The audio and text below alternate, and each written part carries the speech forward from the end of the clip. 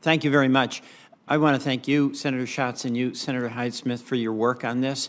And I also want to thank their committee. This committee is the place where we remind ourselves that we're all in it together. We're all Americans. There but for the grace of God goes the disaster that, that hit you uh, in Hawaii, Senator Schatz, and the, uh, the uh, terrible tornadoes and hurricanes you've had in Mississippi. So you bring us together and remind us that we're all one. Uh, in July, Vermont experienced several days of nonstop extreme rainfall. It wasn't a storm, it was just rain that wouldn't stop. We had nearly nine inches of rain in a few days, causing flash flooding, washouts, and mudslides. One community, Cabot, had uh, Cabot, Vermont, had damage to every single road in its town, and our capital, Montpelier, was completely underwater. Many businesses still have not reopened. It's been terrible.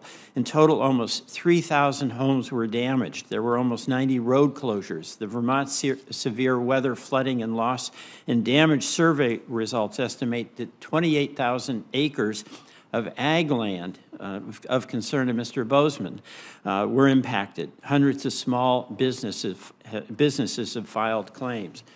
President Biden and his administration acted very quickly uh, the FEMA administrator did a tremendous job, uh, was there on scene to provide reassurance and help right away.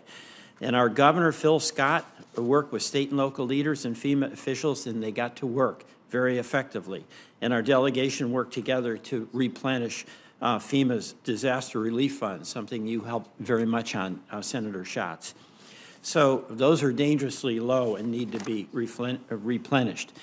And while I'm grateful we were successful in uh, supplementing the DRF, more must be done to give our communities the support they need to rebuild.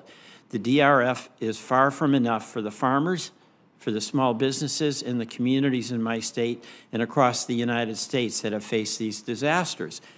When I toured damage in Vermont, I saw firsthand the way my community came together, and that's what's inspiring to all of us. Somehow they endure but six months after the floods and the waters have receded, but thanks to the hard work of our first responders, uh, community leaders, neighbors, and FEMA, and the generosity and kindness of strangers, Vermont is getting back on its feet. But if it was your farm, if it was your home, if it was your business, it's still really tough. Across the state, we're in the early stages of rebuilding those locations. But our small communities that don't have millions of dollars to rebuild dams without diverting from other needs like housing and healthcare are having a real trouble. That's why the Community Development Block Grant that you've been talking about, that disaster recovery and community development block grant mitigation funds are absolutely so critical. Your statement, Senator Hyde-Smith, is exactly right. They give us the flexibility that we need to rebuild now and prepare for the next flooding disaster and it will come. We know that.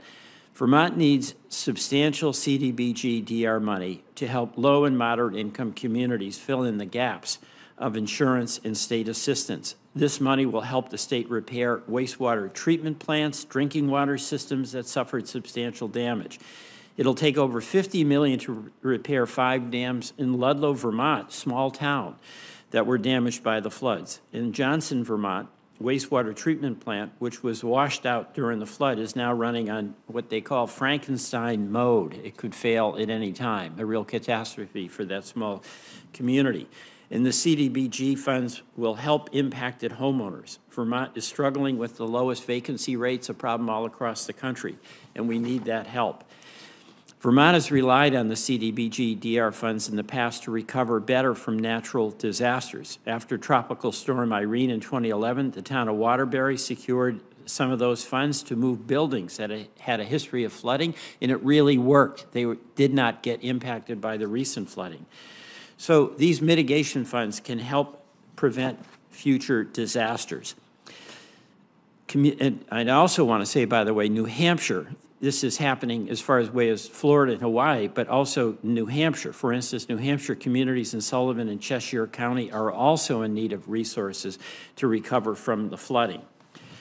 So failing to prior prioritize disaster funding now will leave our constituents feeling that their government has abandoned them, and that's a challenge. We don't want folks to have that feeling. Thank you again for hosting this hearing. And Chairman Schatz, it has been great working with you and your office under these incredibly challenging circumstances facing the people we represent. Thank you for the good work of this committee and the opportunity to testify.